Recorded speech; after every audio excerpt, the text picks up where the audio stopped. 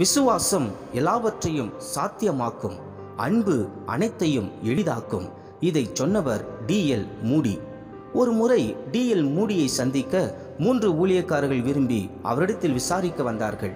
எப்படி நீங்கள் பிரசங்கிக்கும் போது அநேகர் கேட்கிறார்கள் மனம் திரும்புகிறார்கள் எப்படி திரள் திரளான ஆத்துமாக்களை ஆதாயப்படுத்துகிறீர்கள் என்று கேட்டார்கள். அப்பொழுது டிஎல் மூடி அவர்களை தன் வீட்டின் மாடிக்கு அழைத்துச் சென்று கீழே பாருங்கள் என்ன தெரிகிறது? என்றார். ஒருவர் சில பணக்காரர்களை பார்க்கிறேன் என்றார். இன்னொருவர் அழகான கட்டிடங்களையும் தெருக்களையும் பார்க்கிறேன் என்றார். இன்னொருவர் இயற்கையை பார்த்து ரசிக்கிறேன் என்றார். அப்பொழுது டிஎல் மூடி அவர்களை பார்த்து என் கண்கள் பணக்காரர்களையும் கட்டிடங்களையும் இயற்கையும் பார்க்கவில்லை.